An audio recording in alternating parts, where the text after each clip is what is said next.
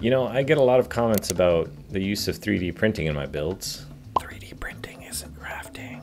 Anycubic did send me a printer to review in this video, and I'll tell you my thoughts on it a bit later. 3D printing isn't crafting. Alright, alright, I get it. I'm gonna get rid of it.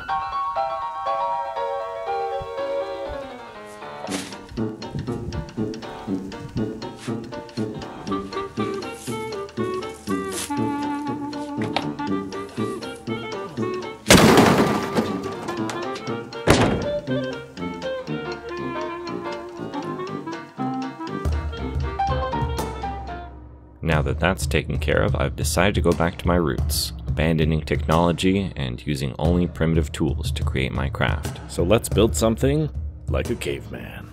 Well, or woman. Before I had thrown out the 3D printer, I did manage to print off some new designs I've been working on. I'm calling these the Dekan Automatons, and the idea for them is sort of inspired by one of my patrons, James. He wanted to make a wargaming army that mixed the visual look of Daleks and Necrons. Thanks, James. Using this measuring stick, I decide on the rough dimensions of the structure. These genocidal robots need a sort of portal or monolith style structure to come out from. So that's what this crude depiction is sort of meant to convey. Yeah, see, they come out of here and they shoot their lasers and stuff. Perfect. Envisioning and painting these myself was a treat because I specifically designed plenty of recesses and large details to catch my brush and take washes really well. Check out how nice it looks after some Agrax Earthshade. Got really wild with the bases using these very bright saturated greens and blues to get very alien vibes going. You can grab the miniatures from the link in the description, but let's get back to the caveman crafting, shall we? Before we start building, we're going to need some tools. I'll first need something to cut my materials with.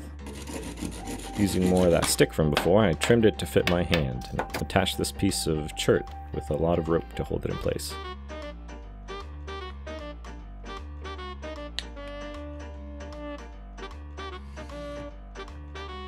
Testing it out, it takes a couple passes but seems to cut through primitive cardboard well enough.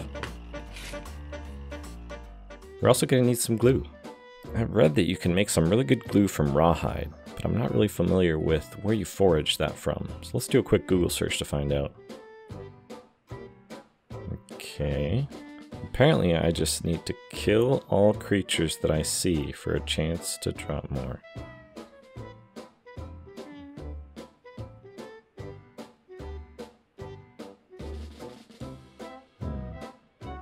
Anyway, I decided to go to the pet store. They have tons of creatures there. Got kind of distracted by the cute kittens. After explaining to the staff what I was trying to do, they pointed me to a section of the store where they sell actual rawhide. So that was kind of nice. To extract the sweet, sweet glue from inside the rawhide, we're going to need to start a campfire.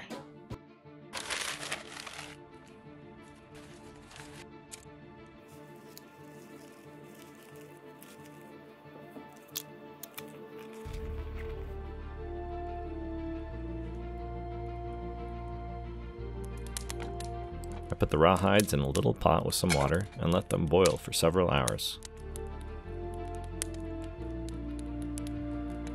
Not sure if it was done or not, I decided to check in on them and test the consistency.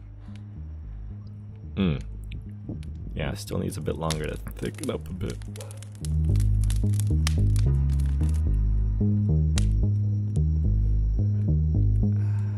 You'll know when it's done if it sort of looks like this when you open up the pot. Notice that it, it looks a lot like the branded stuff you can buy in stores. I'm on to you, Aleene. Alright, now let's start carving some cardboard. Making sure to properly tenderize the boards lets me cut through them much easier. Scoring, bending, and snapping make quick work of them. The idea here is to build up a base by layering multiple pieces of cardboard until the desired height is reached. I'm using some of that glue we made before. We dot each corner and press them together. Hammering in some wooden nails in order to keep the pieces together and stop them from drifting apart as the glue dries.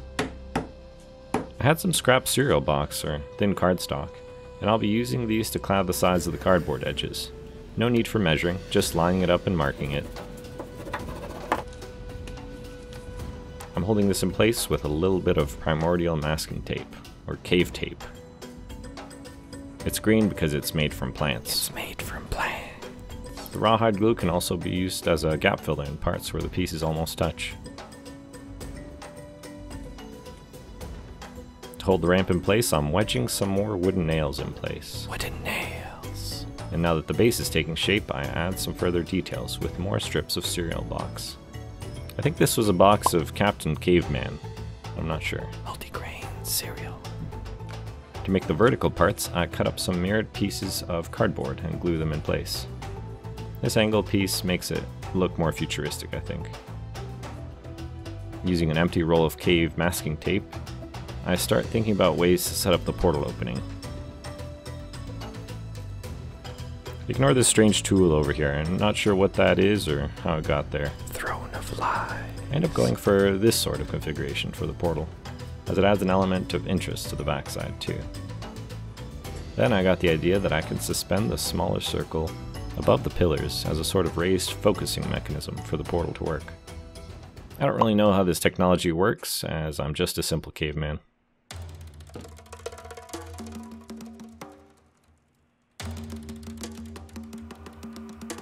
Further detailing with cardstock on top made the ring look a bit more interesting.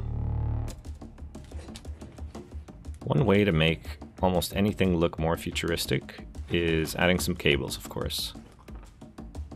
I replaced my cave sneaker shoelaces recently and I had these old ones left over. Cutting up some paper straws for terminal connectors lets me drape sections of the shoelace between them. If you're having problems with the frayed edge of the shoelace, just take a bit of a flame to it.